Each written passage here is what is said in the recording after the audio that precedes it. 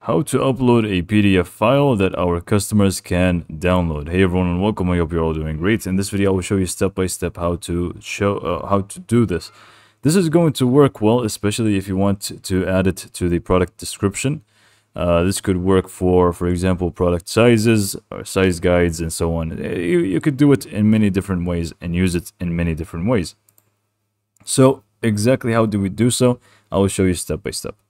So first you will need to go to your Shopify admin and then from here we just want to go to the um, content section here. You can find it from like underneath the customers products uh, you will find content.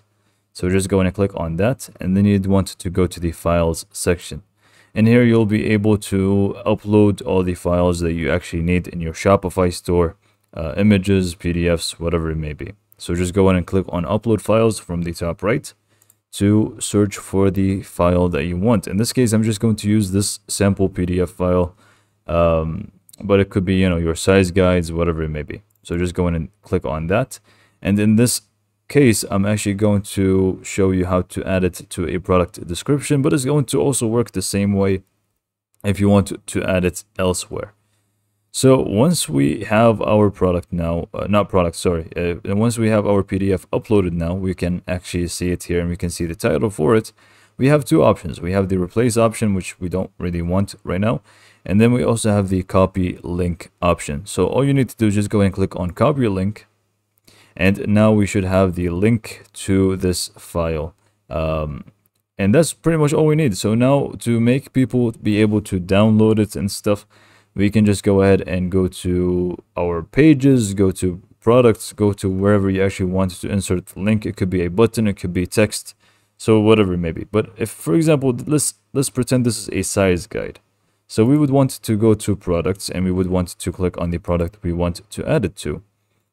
And in this case, we can just go to the description and, you know, add the description that we want. And at the bottom, we can do something like, here's a size guide for this product in detail.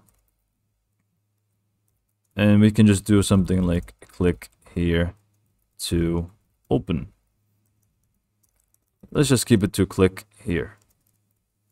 And now I'm just going to basically highlight this and I'm just going to click on insert link and I'm just going to link to paste the link that we just copied.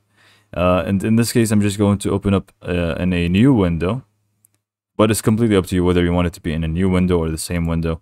And then the link title is going to be pretty much a size guide in my case. And click on insert link. So click on save and we are pretty much good to go now. So let's just go ahead and preview the product and see how it's going to look like. So if we just click on preview, people will be able to click here and it's just going to open up the PDF for them and they will also have the option to download the PDF. So this is all for this video. Hopefully you found it to be informative and thanks for watching.